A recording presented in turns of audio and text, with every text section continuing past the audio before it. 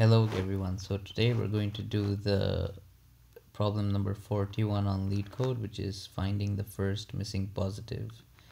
Um, so we're given an array and we have to find the smallest positive integer that is not in the array. So like this one you have 1 to 0, um, the smallest integer that's not in the array is 3 here you have 3, 4, minus 1, 1. The smallest positive integer that's not in the array is 2.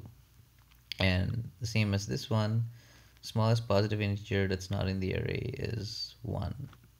So um,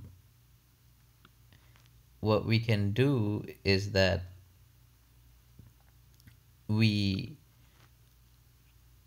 put so um, before I go into the solution, um, the trick I'm using here is that the the smallest missing first missing positive number can never be greater than the size of the array, right? So like if it was one, two, three, four, five, right? So the smallest missing positive number would always be from 1 to n plus 1, right? It can never be beyond or greater than n plus 1 because if you like if you have an array of size 5 and you have something that's greater than 5 like 6 then you definitely have a number from 1 to 5 that's not in the array because the length is 5 and you already have a number greater than 5 so that means you know there's definitely one number between 1 to 5 that's not in the array. Where and then the other case is when you have negative numbers. So if your array length is 5 and you have a negative number then you know that between the range of 1 to 5 there's at least one number that's missing because its place was taken by a negative number. Um, so that's how I'm looking at this problem. So then if we know all the numbers that are in the array, we can just iterate then from 1 to n plus 1 and see uh, what number is not in in in, in that set. So uh, I'm gonna start coding here so I'm gonna create a set of integer um, numbers equals new hash set. And then for each number in the array uh, I will insert it into the set.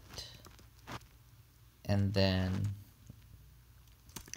I'm going to iterate from 1 to the length of the array. So and if I see that there's any number um, so i is the number to test and if not um, if i is not in numbers then we already found the first uh, missing positive. So we just return i Otherwise, we return nums.length plus 1. So, so this is the worst case when everything from 1 to 5 is in the array. And then at the end, it will just return 6 because um, it knows that everything from 1 to the length was found in array in the array so that means every single slot was taken by a positive number there were no negative numbers or there were no numbers greater than 5.